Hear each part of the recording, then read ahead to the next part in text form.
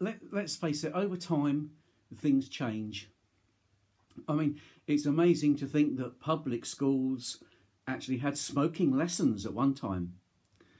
People used to use mercury to handcraft velvet, and that's how the term mad as a hatter came about because it made you mad. And dangerous chemicals were widespread. I mean, I used many in my previous job in the 1970s and 1980s. A lot of things have got better over time, and carpet cleaning is certainly no exception. So here are three old myths that just still seem to be hanging around like a bad smell. Myth number one is that all carpet cleaning is the same. And of course, that's just absolutely not true. Wow. Carpet cleaning products vary enormously, as does the equipment. The knowledge and skills of the person doing the job also makes a, a, huge difference. Now just imagine an old, out-of-date carpet cleaning machine from the 1960s and now compare it with the latest low moisture, highly effective machines now available. You'd have to be completely brain dead to think that the results would be exactly the same from both machines. And yet many carpet cleaners are using exactly the same machines that came out in the 60s. The design and function hasn't changed. Oh my God. The technology has changed so little that you'd never even know the difference. And yet there are new machines that apply just the right amount of cleaning product. They gently massage it into the carpet fibres and remove the soiling. The difference can be wow. But equipment is only part of the process. The cleaning products also vary such a lot.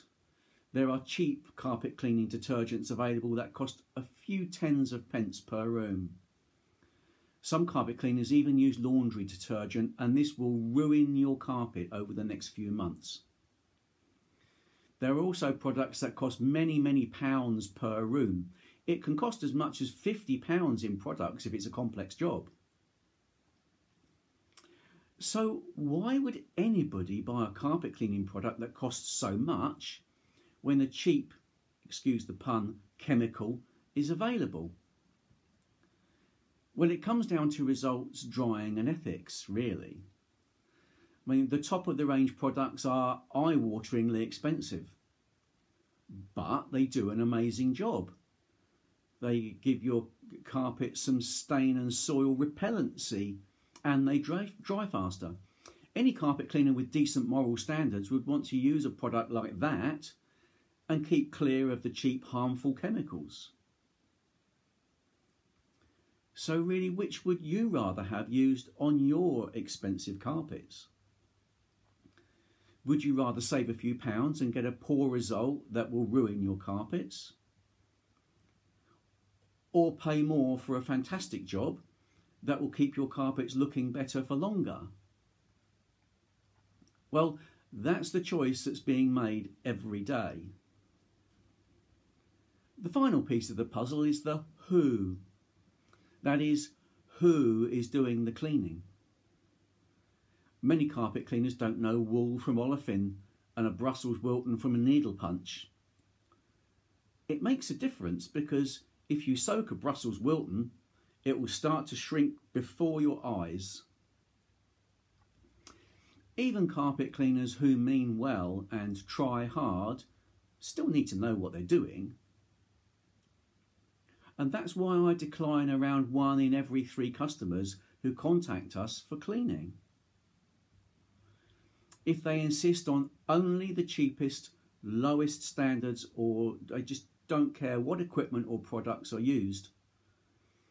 Or if they just think that all carpet cleaners are the same, then we're not the right people for the job. So what's myth number two? The harsher the soap or detergent, the better. It's untrue. In fact, harsh soap isn't necessary to get out the nastiest stains from your carpets. Soaps and other detergents can leave a sticky residue too. the opposite of the effect you want to have for your carpet. It's not just your carpet that doesn't like harsh soaps either. People with allergies and sensitivities may just prefer not to bring chemicals, soaps, and detergents into their environment. So, what does work? Well, the right product for the job. Wool needs a gentle, neutral pH cleaning solution applied without high heat or pressure. It needs to be applied in lower amounts to get the best result and to avoid damaging the delicate wool. Synthetics can require a higher pH product or even an oil busting product to do a great job. And that's because most synthetic uh, fibres are made from oil derivatives, so they bond easily with oily soils and just don't give them up so easily. Many stains require a specific treatment to be successful.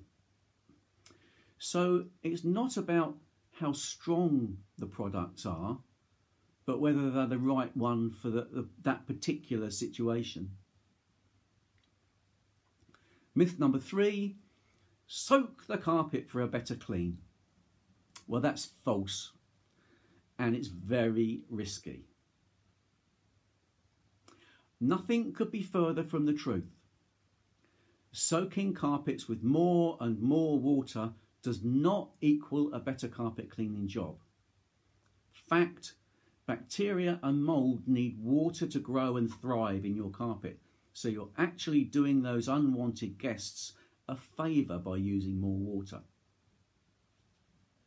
In fact, pretty much every problem in carpet cleaning happens because carpets are left too wet.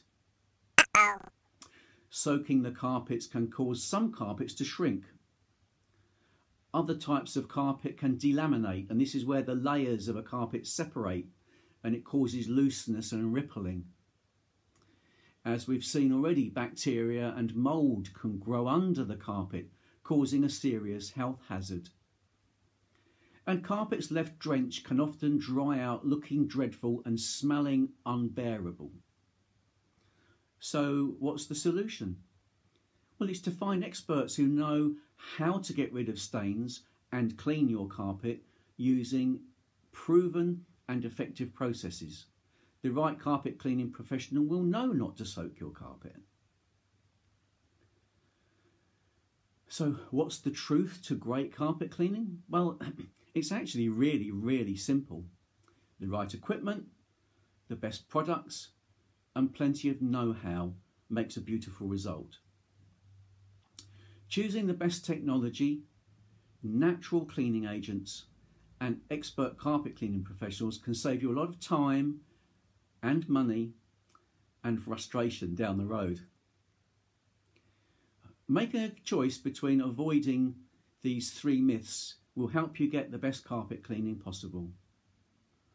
I hope this short video has helped.